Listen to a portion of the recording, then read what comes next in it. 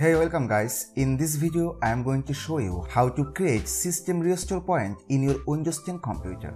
Actually, this is a life-saving feature of Windows operating system. For example, if your system files get corrupted or any of your installed application not working properly. Maybe your system was working perfectly yesterday, but now it's behaving weird and you are struggling to fix it. Here system restore comes to play. It will help you to restore your PC to an earlier point when your system was functioning properly. Anyways, at first, let's find out if there is any restore point already created in your PC. Just press Windows key plus R to open Run app and type RSTRUI. It is the shortcut way to go system restore point. Now click OK. And you can see there is no system restore point here and also the system protection is turned off, which is not good. But no worries, we will turn on this system protection feature right now. Now type create restore point in the search bar and open the settings. And you can see the protection is off here as expected. Well, you can also open the settings by clicking on here.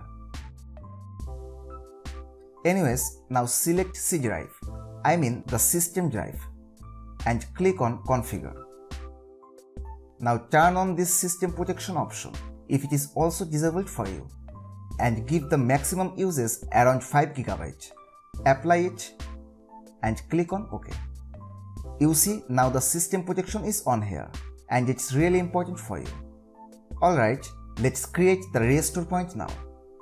Click on create here. Give it a name and click on create. It may take some time.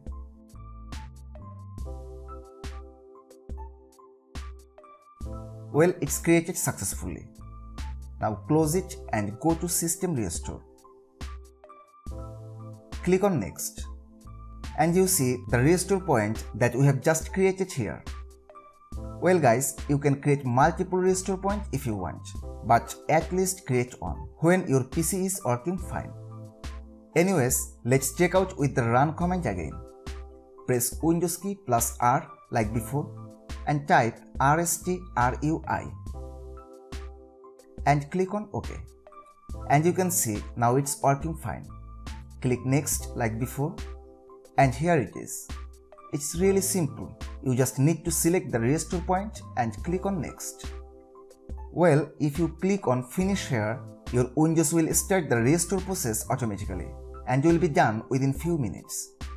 Nothing complicated here. Well guys, my system is running perfectly right now, so I am not doing it now. But maybe this will be required in near future. Who knows?